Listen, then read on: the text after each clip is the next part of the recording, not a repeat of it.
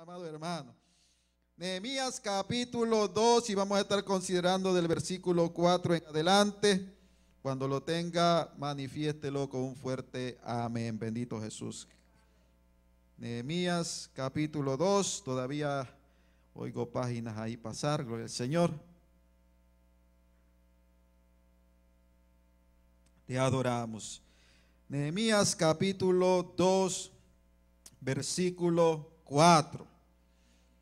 Te adoramos. ¿Lo tenemos todos? Amén. Leemos la poderosa palabra del Señor a la gloria del Padre, a la gloria del Hijo y a la gloria de su Santo Espíritu. Y la iglesia del Señor dice, me dijo el rey, ¿qué cosa pides? Entonces oré al Dios de los cielos y dije al rey, si le place al rey y tu siervo ha hallado gracia delante de ti, envíame a Judá, la ciudad de los sepulcros de mis padres, y la reedificaré. Entonces el rey me dijo, y la reina estaba sentada junto a él, ¿cuánto durará tu viaje y cuándo volverás? Y agradó al rey enviarme después. Yo le señalé. Y además dije al rey, si le place al rey que se me den cartas para los gobernadores al otro lado del río, para que me franqueen el paso hasta que llegue a Judá. Y carta para Asaf, guarda del bosque del rey, para que me dé madera para enmaderar las puertas del palacio de la casa y para el muro de la ciudad, y la casa en que yo estaré, y me lo concedió el rey según la benéfica mano de mi Dios sobre mí. Vine luego a los gobernadores del otro lado del río, y les di las cartas del rey, y el rey envió conmigo capitanes del ejército y gente de a caballo, pero oyéndolo Zambalat Oronita y Tobías el siervo amonita, les disgustó en extremo que viniese alguno para procurar el bien de los hijos de Dios. Oramos, amante Dios y Padre Celestial. Te damos toda la gloria, toda la honra, Señor, porque tú eres bueno, porque grandes, Señor, son tus misericordias. Bendito Dios. Damos, Señor, en esta hora Oh bendito Dios del cielo, esta ofrenda, Señor amado, de palma. Bendito Dios, este pueblo, Señor, levanta sus manos y te glorifica porque solamente tú eres digno de gloria, Señor amado. Te damos la gracia por este privilegio y esta oportunidad que tú nos has dado, Señor, de poder sentarnos delante de esta mesa, Señor, recibiendo este maná del cielo que es tu palabra. En esta hora solamente te pido, Señor, que tú abras nuestra mente, nuestro entendimiento, para que podamos estar estar atentos, Señor amado, a la palabra que tú hablarás, Señor, a través de mi vida. Señor, yo te pido que me uses con poder y gloria, Señor, que pases carbón encendido, santifique mi vida, santifique mis labios, Señor, para que toda palabra que proceda de mi boca sea únicamente aquella única, Señor amado, y eficaz para, oh bendito Dios del cielo, edificar en medio de tu pueblo. Gracias te damos, Señor, por todas las cosas en el nombre poderoso de Jesús. Amén. Amén y amén. Puede sentarse, mi amado hermano, pero dele en esta hora un minuto de alabanza al Señor, una ofrenda de palmas al Cristo de la gloria, porque Él se lo merece. Dígale, Señor, gracias, gracias por este privilegio, gracias, Señor, porque me ama, gracias, Señor amado, porque estás en medio nuestro, bendito Dios. Te adoramos, te adoramos. Gloria al Señor. Como que ningún micrófono me, me, está gustando. Gloria al Señor. Pero estamos contentos, mi amado hermano. Estamos gozosos de estar en la casa de nuestro Señor. A Él damos la gloria. Y el día de hoy estaremos predicando bajo el tema edificando en medio de la oposición. Gloria al Señor. El día de ayer, mientras meditaba acerca del mensaje de esta hermosa tarde, mis amados hermanos, Sabemos que el día de hoy mucha gente en las diferentes iglesias alrededor del mundo, bendito Dios. Muchas iglesias le están dando la bienvenida a lo que es la Semana Santa. Hoy comienza para ellos lo que es la Semana Santa con el famoso Domingo de Ramos, bendito Dios. Y muchas iglesias, aún las iglesias cristianas, mi amado hermano, muchas veces buscan un tema, ¿verdad? Referente a la ocasión, pero el día de ayer yo meditaba, mi amado hermano, acerca de qué predicar y el Señor me llevaba, bendito Dios, a este pasaje de la Biblia, bendito Dios, porque mi amado hermano tenemos que entender que los tiempos del mundo, los tiempos de las naciones, no son los mismos tiempos de Dios. Dios conoce la necesidad de su corazón y de mi corazón. Dios sabe lo que está pasando en su vida y está pasando en mi vida. Bendito Dios. Y yo creo, mi amado hermano, que como iglesia, la iglesia local, la iglesia que gracias al Cristo de la gloria, Él me ha permitido pastorear desde hace unas semanas para acá. Hemos venido hablando de las grandes bendiciones que Dios tiene para con cada uno de nosotros.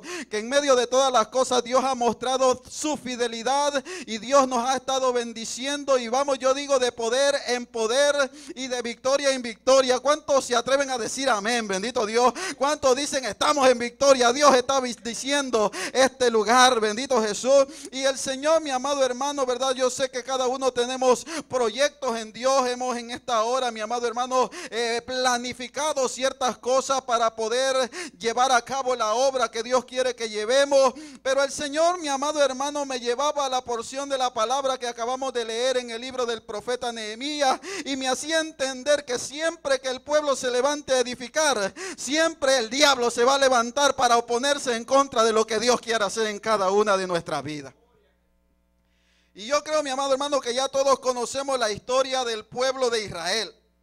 Pueblo de Israel, mi amado hermano, vemos que eh, Dios llama, todos conocemos la historia de cómo Dios llama a, este hombre conocido como Abraham y Dios le hace una promesa de que él saldría una nación grande, una nación numerosa, bendito Dios tan grande, mi amado hermano, que decía, dice la palabra del Señor, que si alguno pudiese contar las estrellas de los cielos, sería capaz de contar la numerosidad que habría dentro del pueblo de Israel.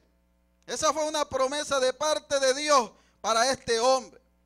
Y vemos, mi amado hermano, que Dios como comenzó a trabajar en la vida de este hombre, Dios comenzó a multiplicarle, Dios comenzó a bendecirle e hizo cada una de las promesas que Dios había hecho con él, aún en medio de la cautividad de Egipto, que ya todos conocemos la historia, vemos cómo Dios estuvo con cada uno de ellos, pero después, mi amado hermano, vemos que después de haber recibido la bendición de haber entrado a la tierra prometida, bendito Dios, el pueblo de Dios, el pueblo de Israel comenzó a deslizarse el pueblo de Israel comenzó a apartarse de lo que Dios había dicho que no tenían que apartarse. Bendito Dios de cada uno de sus mandamientos y de cada uno de esas leyes y estatutos que Dios había dado a través de Moisés al pueblo de Israel. Ellos comenzaron, mi amado, amado, eh, amado hermano, a apartarse de la cobertura de Dios. Porque déjeme decirle que cuando usted se aparta de Dios, usted inmediatamente se está apartando de la cobertura de Dios.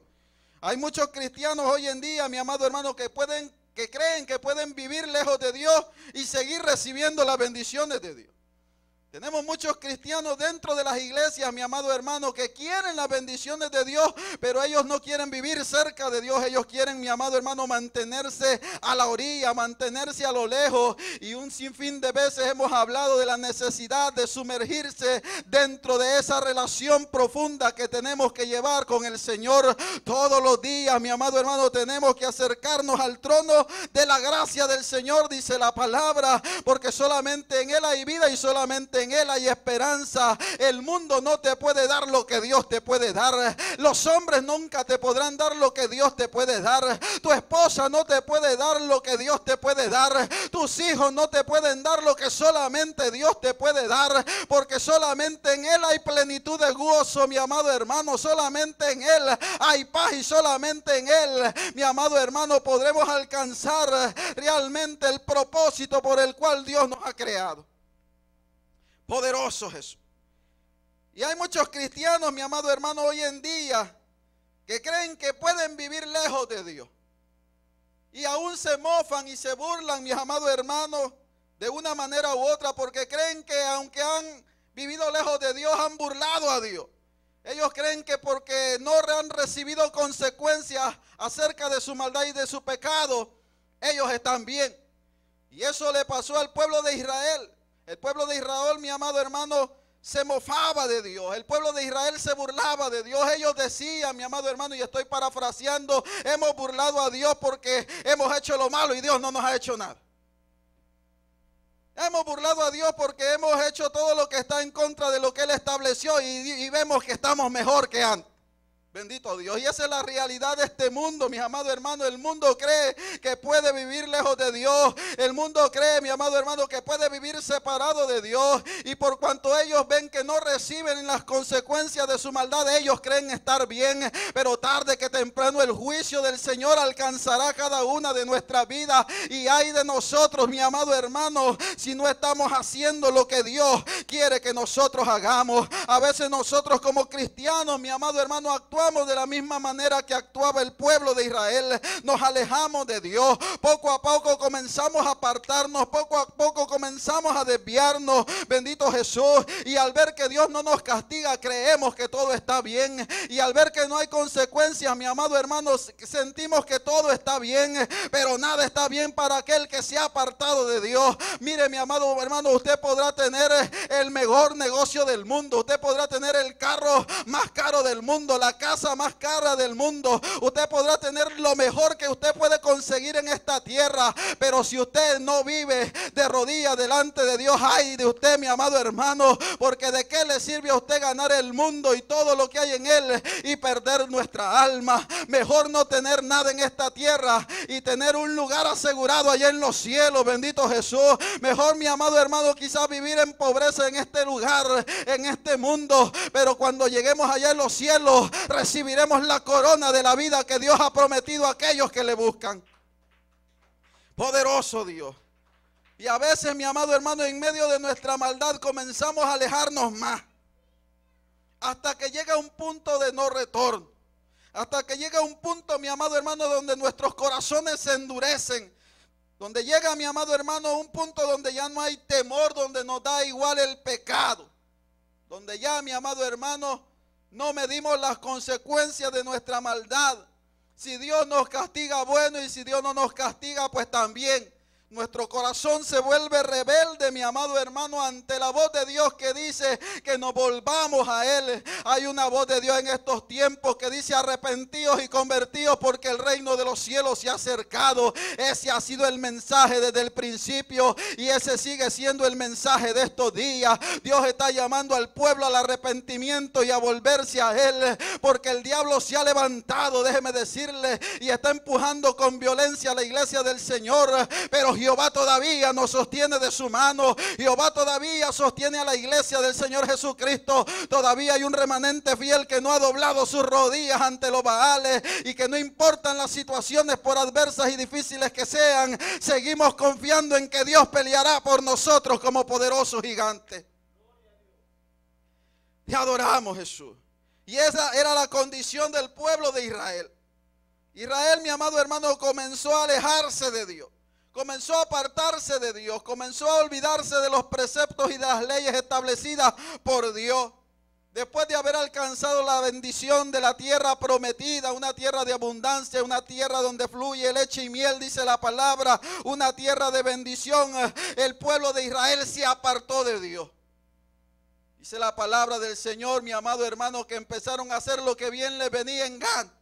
Lo que cada uno de ellos quería, eso hacía no consultaban con Dios. Los profetas, mi amado hermano, eran menospreciados. Y es en medio de esa situación que Dios comienza a enviar profetas. Es ahí, mi amado hermano, donde Dios comienza a levantar hombres con una palabra que no era muy agradable ante los oídos de los hombres. Es ahí donde Dios comienza a levantar hombres como Isaías, hombres como Jeremías, para advertir al pueblo de lo que se acercaba. Bendito Dios, para advertir al pueblo de las consecuencias de su maldad. Bendito sea el dulce nombre de el Señor. No era, mi amado hermano, un mensaje, bendito Jesús, para hacer volver el corazón del hombre a Dios. Era un mensaje de juicio. Dios ya había establecido el juicio por el cual pasaría el pueblo de Israel. No había cómo volver el corazón de Dios para que se arrepintiese de lo que Dios había pensado hacer. Pero Dios estaba advirtiendo a aquellos que todavía estaban dispuestos a seguirle, que Dios los guardaría aún en medio de lo que se avecinaba. Bendito Dios. Y déjeme que la condición en la cual se encuentra el mundo en nuestros días es una condición deplorable donde Dios ya estableció el juicio para esta tierra. Dios ha establecido lo que se avecina para este mundo. Y hay de aquel, mi amado hermano, que elija no volverse a Dios en estos días. Porque dice su palabra, mi amado hermano, que esta tierra es necesario que pase por fuego, todos los elementos serán consumidos. Bendito Dios, ahí se acerca el juicio sobre el mundo, pero hay una iglesia que todavía alumbra como luminar en medio de la tiniebla. Bendito Dios, una iglesia a la cual se le ha prometido una cobertura especial. Bendito Dios, que Dios nos guardará de la ira venidera que se avecina sobre este mundo. ¿Cuántos quieren estar bajo la cobertura del Cristo de la gloria? Dios había dictaminado juicio, mis amados hermanos. Y vemos que el pueblo de Israel aún seguía endureciendo su corazón. Los profetas fueron menospreciados, a unos metieron en calabozos, en pozos, eran encadenados porque no querían escuchar la palabra que Dios estaba trayendo a ellos. Dios había establecido el juicio. Y es ahí donde Dios le dice, 70 años han sido establecidos. Para que el pueblo sea cautivo porque han decidido irse en pos de sus dioses y no seguir a Dios. 70 años de cautiverio. Fue el tiempo, mi amado hermano, que Israel vivió bajo el dominio babilónico. 70 años, mi amado hermano, que fueron suficiente tiempo para que ellos meditaran en sus caminos. Ya Dios se los había hecho, mi amado hermano, saber a través del profeta Jeremías, meditar sobre vuestros caminos meditar lo que están haciendo, volver a la senda antigua, bendito Dios. Dios le había advertido y ellos dijeron, no andaremos por esa senda, no queremos caminar por ese camino que Dios ha establecido. Y eso es lo que el mundo dice, y eso es que lo, que dice el hombre sin Dios. Usted le dice a mi amado hermano, al mundano, le dice al, que, al inconverso, al que no le sirve a Dios, acércate a Dios, busca a Cristo, solamente Él puede cambiar tu vida. Y ellos te dicen, no, yo no quiero seguir eso. No es que ustedes son unos fanáticos, es que ustedes son unos locos. Bendito Dios. Y ellos han decidido desde ya, mi amado hermano, las consecuencias de su maldad. Pero gloria a Dios que aquí hay un remanente fiel todavía, que aún en medio de las luchas ha decidido andar por esa senda antigua, que ha decidido caminar por lo que Dios ha establecido. Y adoramos Jesús. 70 años de cautiverio. ¿Sabe lo que significa eso? 70 años de silencio de Dios. 70 años donde por más que el pueblo clamaba, porque, mire, por lo que más que el pueblo gritaba, Dios decidió guardar silencio. Yo no sé usted, mi amado hermano, pero la palabra nos enseña a buscar a Jehová mientras pueda ser hallado, llamarle en tanto que está cercano. Hoy es el día, hoy es la oportunidad para buscar a Dios. Porque se acerca un día donde Dios no va a contestar.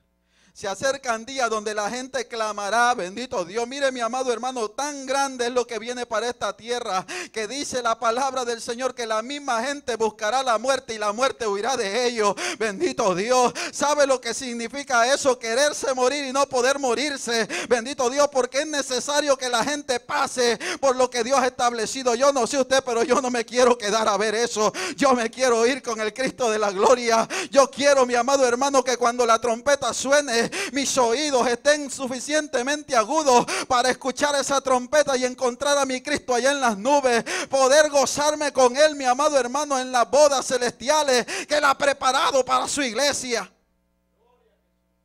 Y adoramos. Bendito Dios.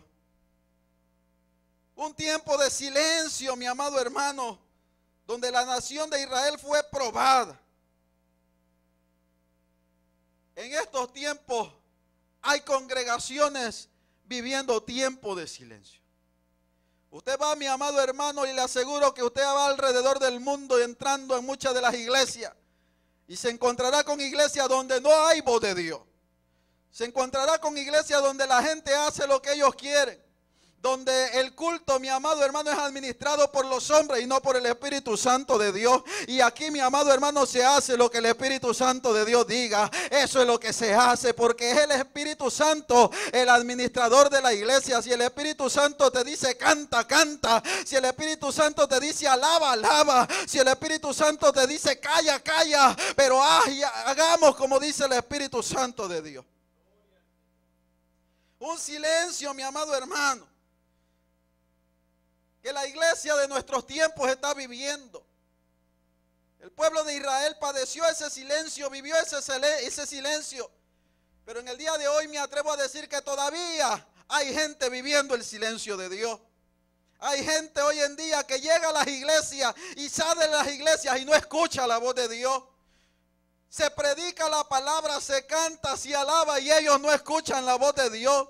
Y ellos andan y viven confundidos preguntándose dónde está ese Dios. Pues déjeme decirle, mi amado hermano, que si usted es uno de ellos, es necesario que se acerque a Él para que Él se acerque a usted. Porque lejos de Él, mi amado hermano, por muy cerca que usted esté de mí, por muy cerca que esté en este lugar escuchando esta palabra, si usted no está cerca de Dios, por más que yo predique, sus oídos no van a entender. Por más que yo hable, mi amado hermano, su mente no va bendito Dios, a meditar en la palabra del Señor. Es necesario que nos acerquemos a Dios. Y que podamos en esta hora, mis amados hermanos, salir de este lugar con la bendición que Dios ha preparado.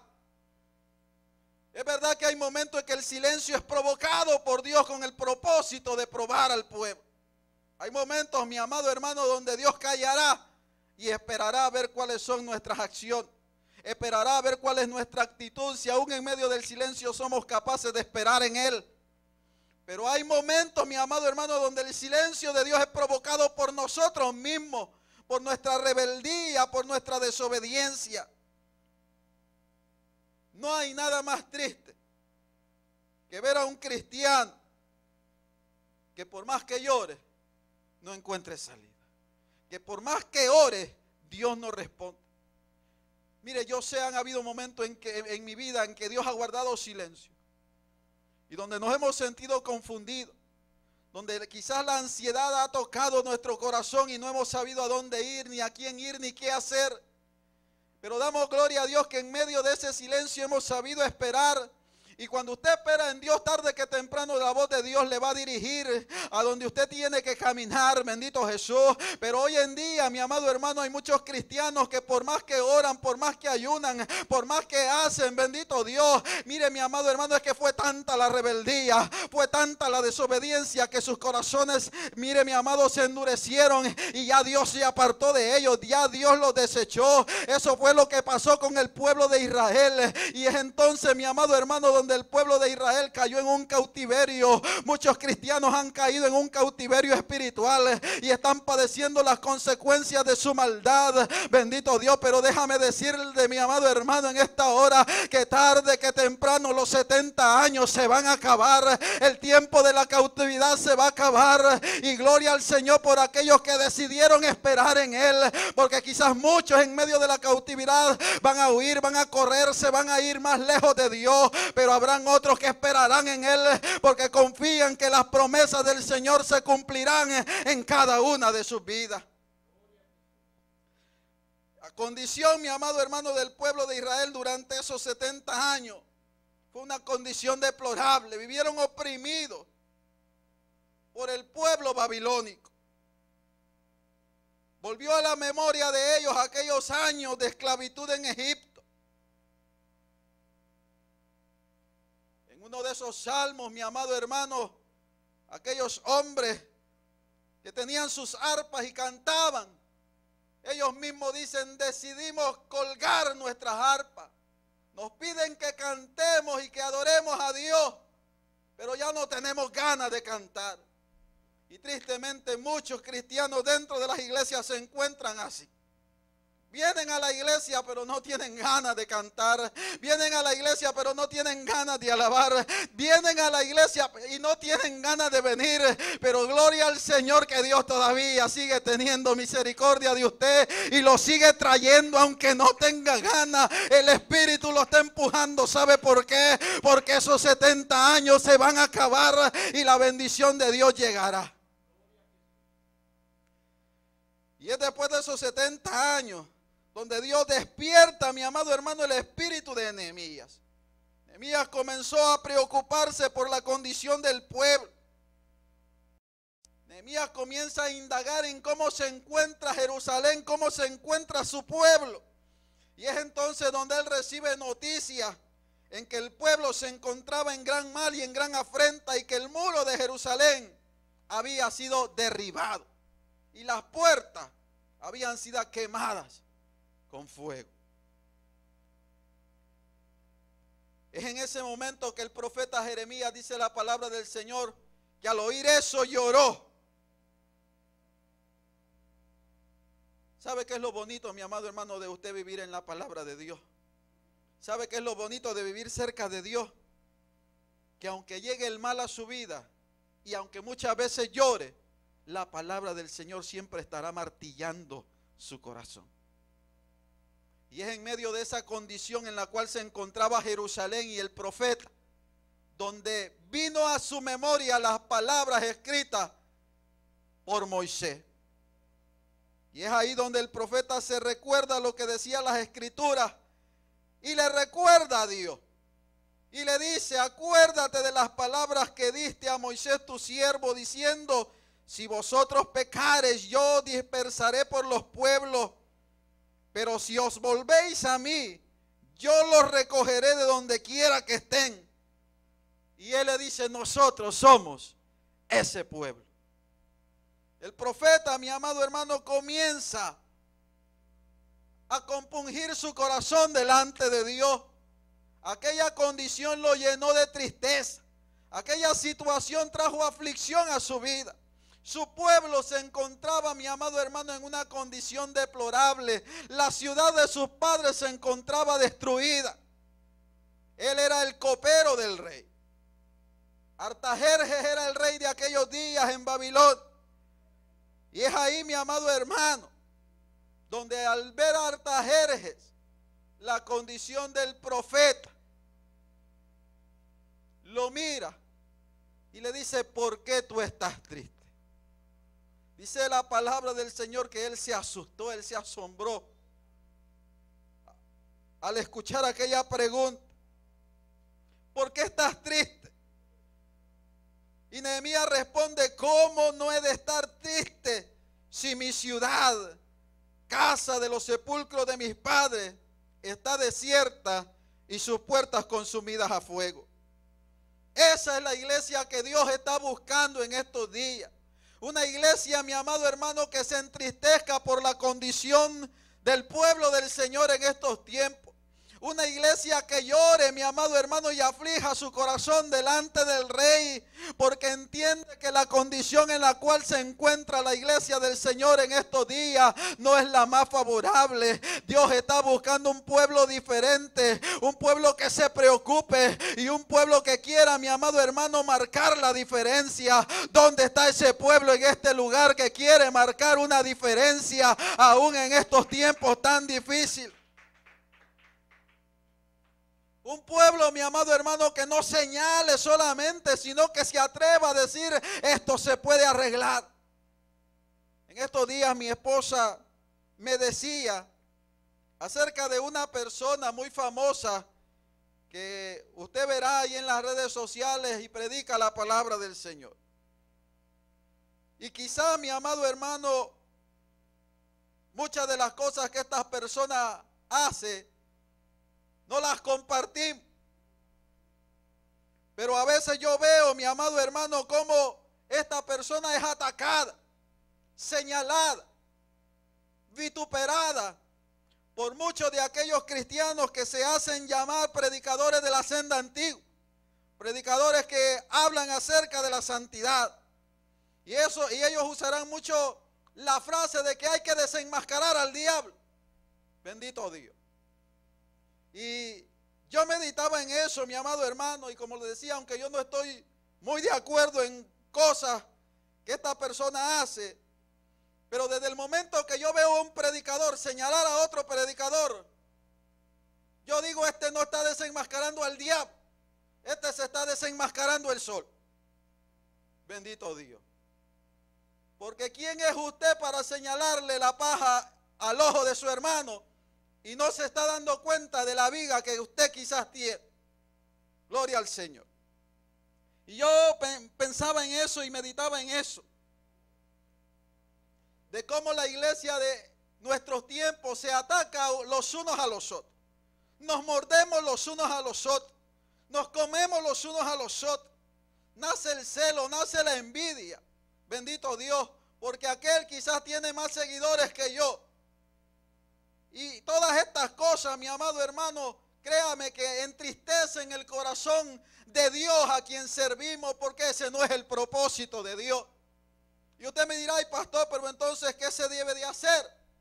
Mire, mi amado hermano, mi trabajo es escudriñar la palabra del Señor, retener lo bueno y desechar lo malo. Ese es mi trabajo. Mi trabajo es escudriñar lo que es de Dios. Ay, pastor, pero entonces usted está promoviendo a esta persona. Yo no estoy promoviendo a nadie. Yo no promuevo a nadie, bendito Dios, pero tampoco estoy, mi amado hermano, de acuerdo en que la iglesia del Señor viva como perros y gatos. Ese no es el propósito, bendito Dios. ¿Sabe por qué me gusta la palabra del Señor? Porque en ella es que nosotros encontramos respuesta, bendito Dios, a todas las cosas. Es por eso que me encanta Pablo, mi amado hermano. Pablo era un hombre diferente. Pablo era un hombre, mi amado hermano, que cuando se le presentaba alguna situación difícil, él meditaba en Dios. Él lo hacía con sabiduría, bendito Dios. Y es por eso, mi amado hermano, que en una ocasión vinieron donde Pablo y comenzaron a decirle, mira Pablo. Por ahí andan unos predicando. No es que yo sea chismoso, pero por ahí andan unos predicando. Que este ministerio que dices que Dios te ha dado no es de Dios. Por ahí andan unos diciendo que si esto fuera de Dios tú no vivieras preso todo el tiempo. Por ahí andan unos diciendo que si realmente Dios estuviera contigo tú no estarías aquí. Estoy parafraseando, mi amado. Por ahí andan unos diciendo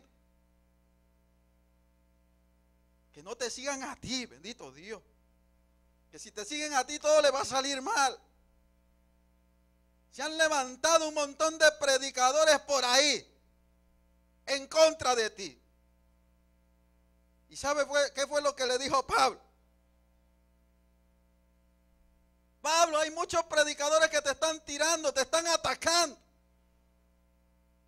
Que dicen que tú no eres de Dios. Que dicen que Dios no está contigo.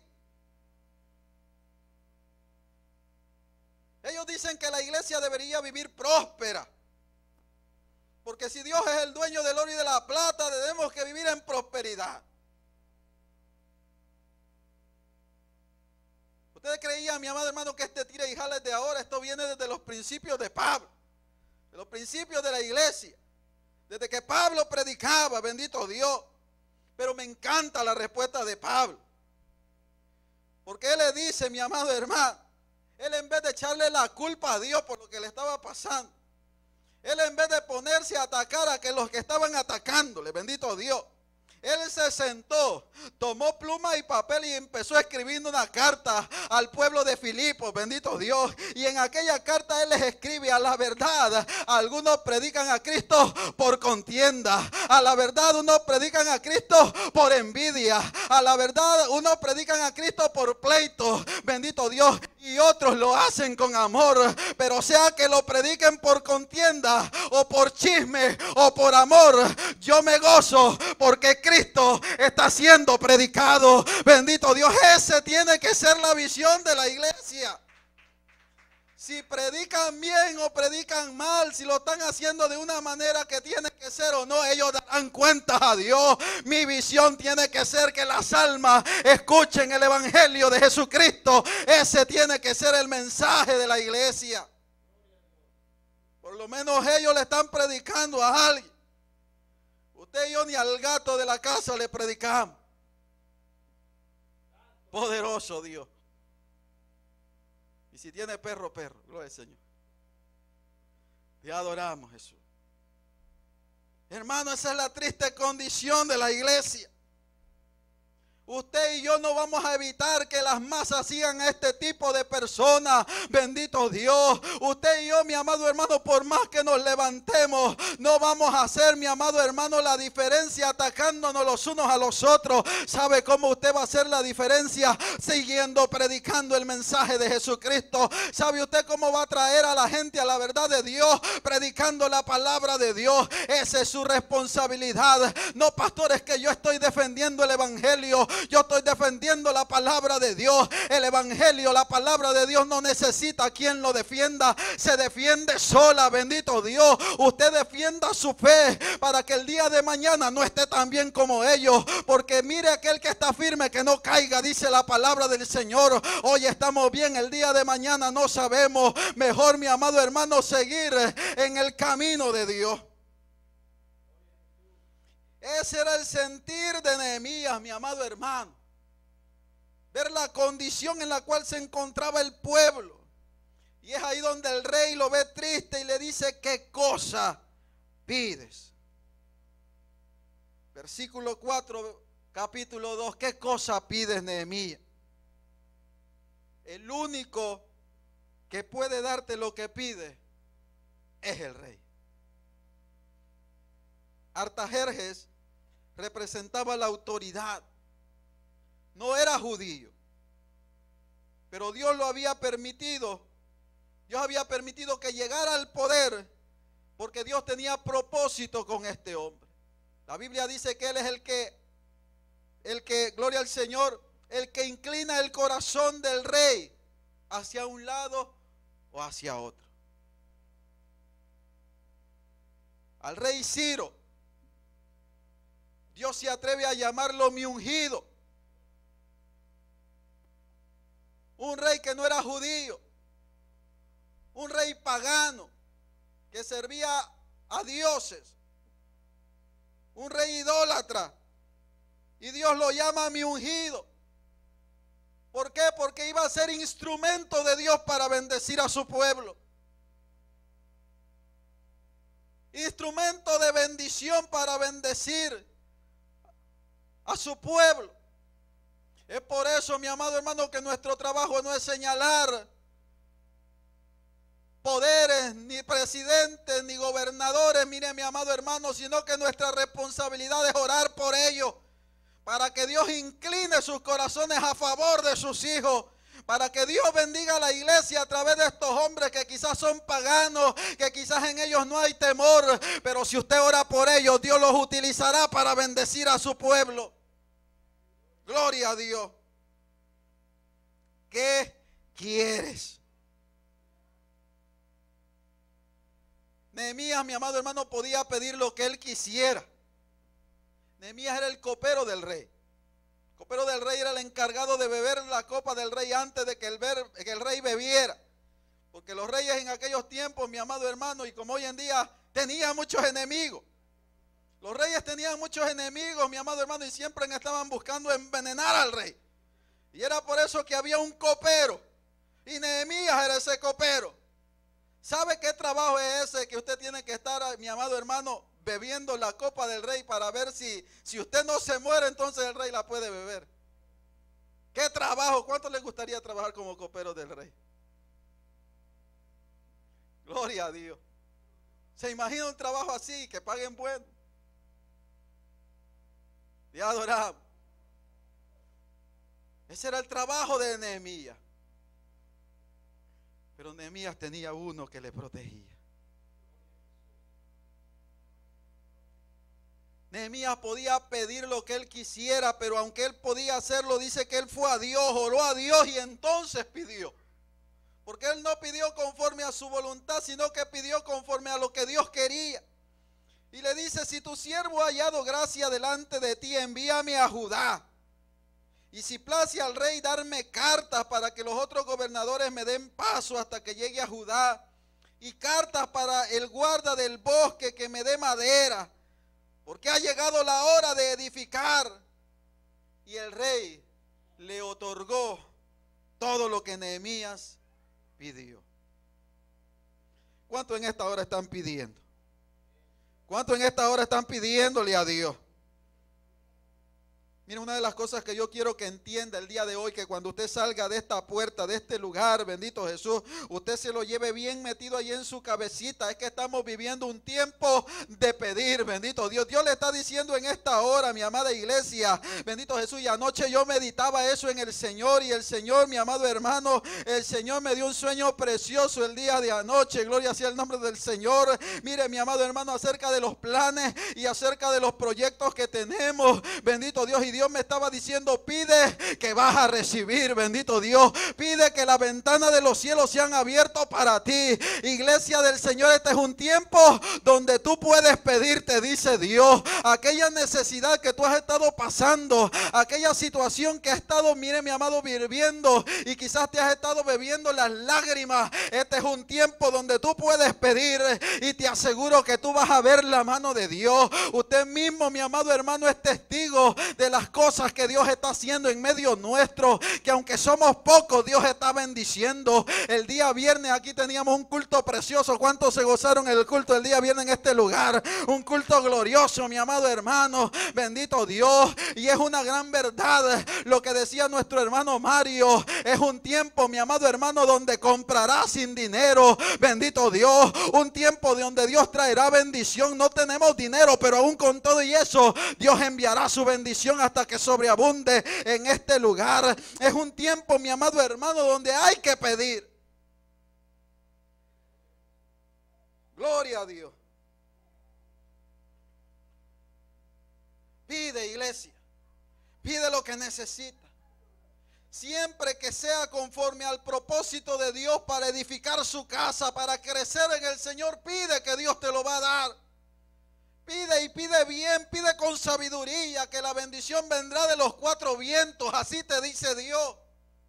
Dios enviará bendición hasta que sobreabunde, mi amado hermano, a tu casa. Gloria a Dios, a tu familia, a tus hijos, a tus hermanos.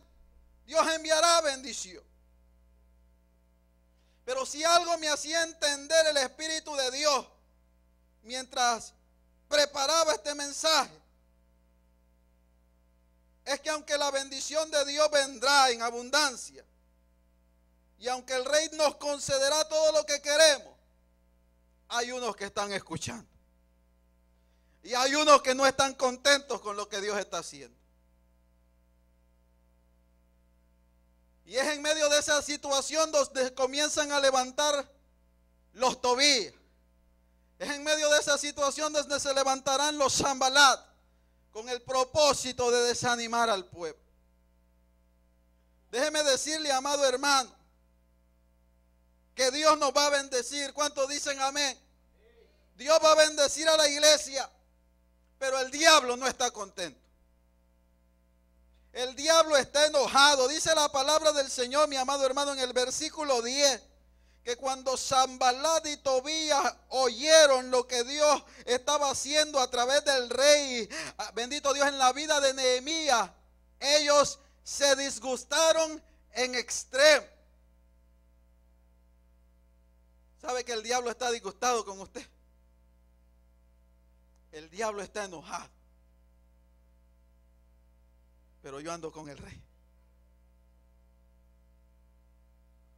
Yo ando con Dios. Y mi Dios anda conmigo. Zambalad y Tobías escucharon. Manuel, Omar, Dios quiere hacer cosas grandes. Mana Ángela, Dios quiere hacer cosas grandes. Mano Julio, Dios quiere hacer cosas grandes. Pero prepárese porque el diablo se va a levantar. El diablo se va a levantar. Ay, pastor, pero no que el diablo ya se levantó. Si lo que estoy viviendo en casa, pastor, pues prepárese. Porque si aún con todo y lo que usted está viviendo en casa, usted sigue caminando, el diablo sigue más enojado. si Él está viendo que con lo que está haciendo usted no se detiene, Él va a buscar la manera de detenerlo. Bendito Dios. Como que lo asusté más, gloria al Señor.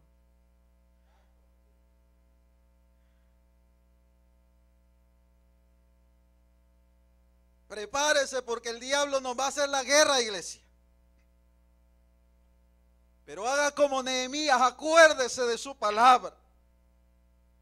Acuérdese de la palabra del Señor que nos dice que más grande es el que está con nosotros que el que está en el mundo. Mayor es el que está con nosotros, bendito Dios, que aquel que está en el mundo. Solamente Dios, mi amado hermano. Así se oponga quien se oponga. Así se levante quien se levante, bendito Dios. Estamos confiados y estamos seguros que no hay diablo que se levante en contra de la iglesia del Señor Jesucristo. Podrá, mi amado hermano, tirar patadas de ahogado, como decimos, hacer las últimas que le quedan, porque sabe que está vencido, sabe que está derrotado, sabe que la iglesia del Señor está en victoria y sabe que un día nos iremos con Él, bendito Dios. Y es por eso que Él está buscando la manera de detenerlo, bendito Dios. Pero la iglesia del Señor camina, mi amado hermano, y da pasos firmes confiando en que Cristo nos dará la victoria, en que en Él somos más que vencedores, bendito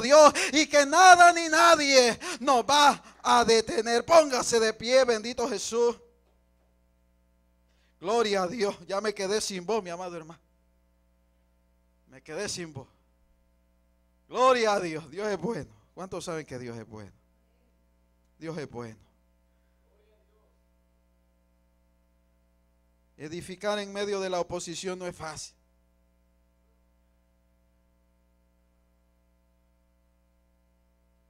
Aquellos dos hombres quisieron desanimar al pueblo, traer temor. Hubieron ocasiones que llegaron como que iban a querer ayudar al pueblo. Pero sus propósitos eran detener la obra que aquellos hombres habían emprendido. Tal era la situación que vivía Israel, que en medio de la construcción de los muros, dice que con una mano construían y en la otra tenían la espada. Y esa tiene que ser la condición en la que el pueblo del Señor esté en estos tiempos. Usted y yo debemos caminar con el propósito de edificar, pero nunca soltar esto. La espada del Espíritu. La espada de la palabra del Señor. Esa es nuestra espada. Y con ella edificamos mejor. Y con ella edificamos más rápido. Bendito Jesús. Hacemos un llamado a todo aquel hermano que anhele, necesite la oración, hermano, en esta hora. Pase al frente que yo quiero orar. Quiero orar por usted, bendito Jesús, para que Dios lo bendiga grandemente. Yo sé que sus luchas no son fáciles. Igualmente las mías no son fáciles. Hay una carga, mi amado hermano, que llevamos. Pero Él dice que traigamos a Él todas nuestras cargas, que Él nos hará descansar. Él nos dará ese descanso. Bendito Jesús. Si usted necesita la oración, pase al frente. Queremos orar rapidito, bendito Dios, si Dios le habló a través del mensaje. Si usted está pasando alguna situación, bendito Jesús, y usted entiende que solamente Él le puede dar la salida, hermano, en esta hora, pase al frente y busque la presencia del Señor. En Él hay plenitud de gozo, en Él hay salvación, en Él hay vida, bendito Dios. Te adoramos, Jesús.